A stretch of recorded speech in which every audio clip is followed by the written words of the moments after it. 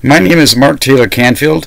I'm a resident of Seattle's District Number 7, and I'm here to speak today in favor of Councilmember Kshama Sawant's resolution to support an extension of the rental eviction moratorium in Seattle. As executive director for Democracy Watch News, an international news organization, one of my major concerns is the increase in economic displacement and houselessness that I see.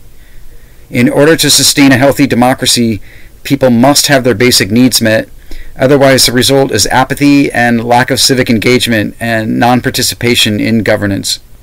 Therefore, economic issues and issues affecting democracy are intertwined and indivisible.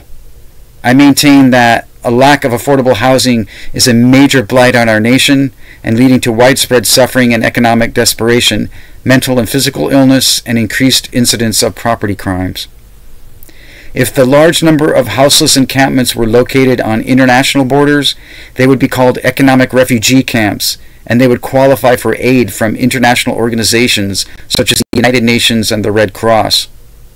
But because they are located within our U.S. cities, in vacant lots, under bridges, and hidden from view, they are treated as illegal settlements subject to police raids and confiscation of personal private property, therefore criminalizing poverty.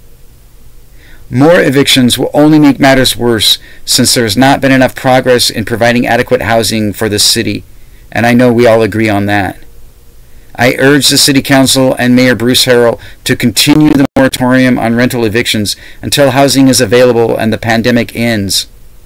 I also encourage the mayor and the council to adopt a basic guaranteed income program to help alleviate the current increase in poverty as housing costs become more prohibitive and no rent control is available for residents of this state.